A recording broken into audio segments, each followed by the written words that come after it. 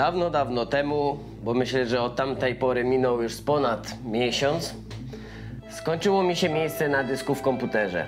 Przez kilka tygodni byłem zmuszony do tego, aby kombinować, w jaki sposób poradzić sobie z tak małą ilością miejsca. Miejsce wypchałem co do zera. Jako, że, jako, że, bo, jako te, jako, że, jako, że jakiś czas temu postanowiłem konkretnie zabrać się za nagrywanie filmów na YouTube, pewnego dnia mój problem stał się jeszcze poważniejszy, ponieważ nagrywanie każdego odcinka to była cała operacja logistyczna, w jaki sposób... y, no... No jeszcze... Nie nagram tego dzisiaj. Nagrywanie każdego odcinka to była cała operacja logistyczna, jak pomieścić te dane, ponieważ postanowiłem przerzucić się na nagrywanie w 60 klatkach, a takie pliki siłą rzeczy zajmują dużo więcej miejsca. Jedną sesję nagraniową musiałem dzielić nawet na 4-5 razy, bo po prostu kończyło mi się miejsce. Musiałem nagrywać, zgrywać, nagrywać, zgrywać. Dlatego postan... Kurwa, pleć. Dlatego postanowiłem kupić nowe dyski, specjalnie na tą okazję nagrać nowy odcinek na kanał! Zastanawiałem się, co mógłbym wam pokazać przy okazji, żeby nie nagrywać tylko czystego unboxingu dysku. Dlatego przy okazji sprzedam wam swój autorski sposób na zapanowanie nad porządkiem folderach i plikach oraz usprawnić swoją pracę podczas produkcji muzyki i nie tylko. Jako ciekawostkę przygotowałem swój stary dysk HDD. Taki dysk potrafi osiągać prędkości odczytu danych y, na poziomie 300 max megabajtów na sekundę. Na dzisiejsze czasy takie dyski nadają się już tylko do przechowywania, jednak do pracy na co dzień, dla szybszych gier, dla sprawniejszej pracy programów. Dyski SSD sprawują się o wiele lepiej, dlatego aby więcej nie przedłużać, przejdźmy do gościa głównego dzisiejszego odcinka, czyli dysku Samsung SSD 980. Mój egzemplarz posiada 1 TB miejsca na dane, przy czym 1 TB to 1000 GB. O ile ten dysk HDD jest niemal identyczny, jeżeli chodzi o porównanie z tym nowym dyskiem, tak osiągi, na które pozwalają, są nieporównywalne. Zamiast przestarzałego złącza SATA wykorzystuje złącze M2, a protokół NVMe pozwala na powalającą prędkość odczytu danych na poziomie 3500 MB na sekundę. Czyli można by powiedzieć, że ten dysk jest 10 razy szybszy niż dysk HDD, ale moim zdaniem ta przewaga jest o wiele większa, bo zapewniają dodatkowo o wiele większy komfort pracy.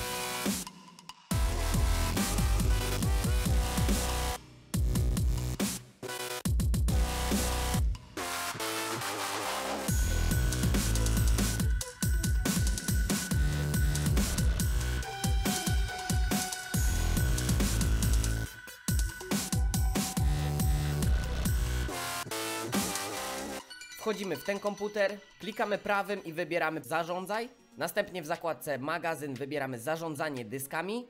Jak widzicie, tak naprawdę dopiero w tym momencie zorientowałem się, że nie musiałem od razu kupować nowego dysku. Byłem przekonany, że w komputerze mam zamontowany dysk 500 GB, a tak naprawdę wykorzystywałem tylko 590 niespełna gigabajtów z całego tysiąca, także no... Starym zajmę się potem, teraz pokażę wam w jaki sposób przydzielić miejsce na nowym dysku. Klikamy prawym przyciskiem myszy na zakreskowane pole i wybieramy nowy wolumin prosty i wybieramy ile miejsca na danej partycji chcemy przeznaczyć do użytku. Jako, że jestem perfekcjonistą, musiałem sobie odpalić kalkulator i podzielić dostępne miejsce dokładnie na pół. Także wpisałem te niecałe 480 GB.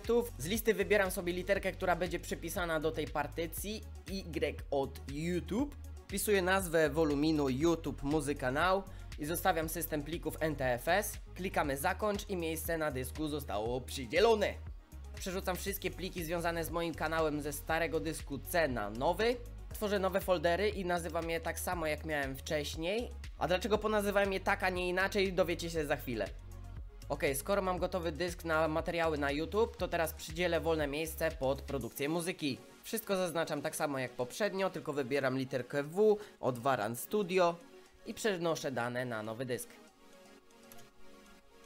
I powiem wam tak, o ile te dane zajmowały mniej miejsca, tak przesył zajął ciul więcej miejsca ze względu na to, że po prostu tych plików było dużo, dużo, dużo, dużo, dużo, dużo więcej. Analogicznie jak poprzednio tworzę nowe foldery i nazywam je tak samo jak wcześniej. I przechodzimy do małych wyjaśnień co, jak, dlaczego. Całość podzieliłem na projekty, pluginy czy pluginy jak to woli, sample, pobrane, instalki, programy, pdf-y, bity oraz referencje. W pierwszym folderze zapisuję wszystkie projekty z mojego DAW Waveform, w drugim folderze przechowuję wszystkie moje wtyczki VST, które również są pokatalogowane ze względu na rodzaj. A podczas nagrywania wpadłem na pomysł, żeby stworzyć dodatkowe dwa podfoldery o nazwie presety oraz pluginy. Folder trzeci to sample, gdzie oczywiście przechowuję wszystkie swoje paczki sampli. W folderze czwartym przechowuję wszystkie pliki pobrane z internetu związane z produkcją muzyki. W folderze piątym instalki trzymam po prostu same instalatory rozpakowane z folderu pobrane. A robię tak, ponieważ myślę przyszłościowo. Jeżeli miałbym na przykład stawiać nowego peceta albo nie wiem, instalować wszystkie dane od nowa, to mam po prostu zestaw wszystkich potrzebnych instalatorów w jednym miejscu. Folder szósty programy to nie tylko programy do tworzenia muzyki, ale również sterowniki, jakieś dodatkowe programy do obróbki audio typu Audacity, Folder siódmy PDFy to moja skarbnica wiedzy. Trzymam tam zarówno e-booki o muzyce, różne przydatne pomoce, a nawet instrukcje obsługi mojego sprzętu, tak żeby mieć wszystko pod ręką.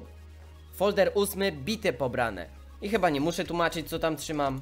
Ostatni folder dziewiąty referencje służy mi do trzymania utworów referencyjnych. A jeżeli nie wiesz czym są utwory referencyjne i chciałbyś się dowiedzieć co to takiego i jak się je wykorzystuje, to subskrybuj mój kanał, bo mam w planach zrobić osobny film na ten temat. W międzyczasie zrobiłem sobie mały porządek i jako, że znalazłem sporo plików z moimi tekstami, to stworzyłem po prostu dodatkowy folder o nazwie foldery. Teksty. Trochę tymi przenosinami narobiłem sobie bałaganu, ale to ogarnę potem. Zaraz wam pokażę o co chodzi. Aby każde środowisko DAW wiedziało skąd ma czerpać pliki, należy wejść w ustawienia programu. W moim przypadku wchodzimy w zakładkę File... File? File? File wchodzimy w zakładkę File Locations. W części General w miejscu Temporary Directory wybieramy folder Projekty. Jako, że wcześniej korzystałem ze starszych wersji tego programu, stworzyłem sobie dodatkowe podfoldery dla każdej z tych wersji z osobna.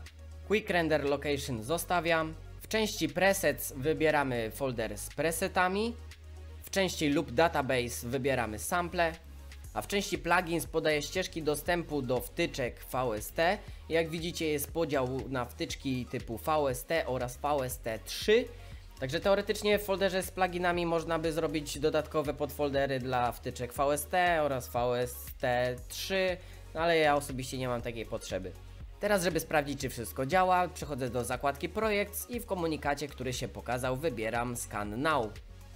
Program zaczął skanowanie podanych ścieżek dostępowych w poszukiwaniu nowych wtyczek i jak widać coś mi się wysypało. Daw całkowicie przestał odpowiadać, ale na szczęście po zamknięciu i ponownym uruchomieniu wszystko już grało. Dla upewnienia się tworzę nowy projekt testowy i podczas próby dodania nowej wtyczki przekonujemy się, że wszystko jest C.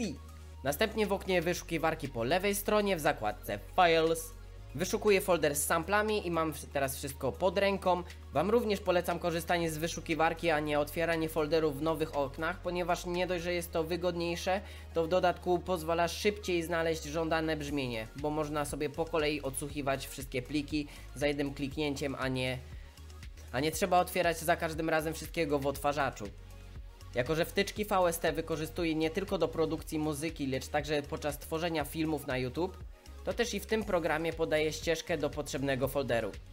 I o ile Waveform nie miał większych problemów, tak DaVinci wysypywał mi się kilka razy pod rząd. Dopiero po wejściu w ustawienia i przywróceniu domyślnego presetu, problem został zażegnany. Dla pewności tutaj wrzuciłem losowy klip i okazało się, że wszystko działa bez zarzutu. Jeżeli chciałbyś dowiedzieć się jak obsługiwać środowisko Waveform, to zostaw suba z dzwoneczkiem, bo na pewno pojawi się więcej kontentu na ten temat.